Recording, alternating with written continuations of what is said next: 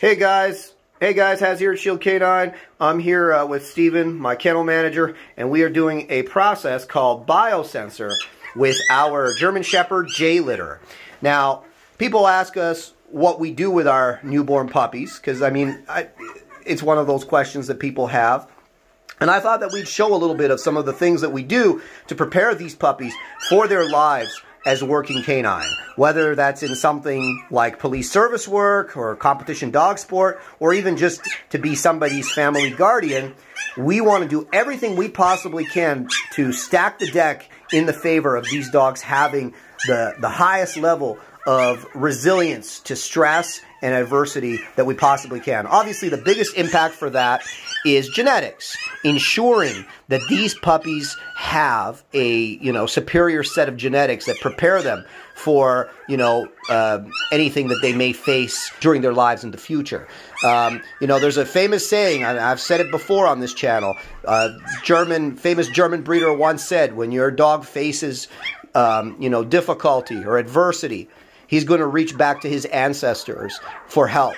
And if he doesn't find anybody there, he's going to be in trouble right? So we've already done the best we can from the ancestry department, from the genetics department, but what we need to do now is we need to provide the nurture to set the standard for these dogs, to give them the the the every edge that we possibly can, whether they're they're going to be police dogs, sport dogs, or or family guardians. Um, we're going to do everything we can to prepare these dogs for for um, you know to make them as strong as we can possibly make them, to make them um, as brave as we can possibly make them, and and a lot of that is is preparation, showing them as much as we can show them. So right now, what we're doing is this is a three day old litter, and we have just started doing biosensor.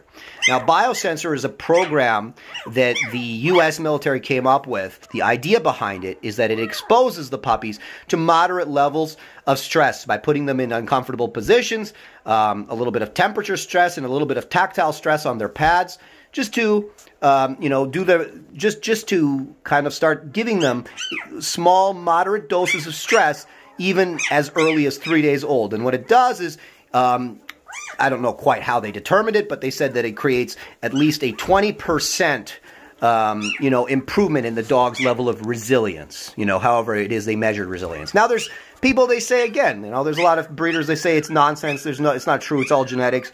Maybe that's the case, but all I know is that we're going to do everything we possibly can to stack the deck in our favor. I've done this with every litter that's come through here, um, and you know, I generally um, have had really good success with not having nervous puppies, with not having dogs that have difficulty being handled. Um, you know, with, with having dogs that are that are brave and, and, and able to handle stress and come through stress and, and, and come stronger on the other side. So you know, uh, I really I really do believe in this, and I think it's a good thing to do with with uh, newborn dogs. So I'm going to talk a little bit about biosensor, what it is, and how we do it. Um, and, uh, you know, if, if it's something that you find interesting, feel free to like this video, subscribe, and comment below. Okay, so let's explain this biosensor. So what is that? Is that male or female? It is a male.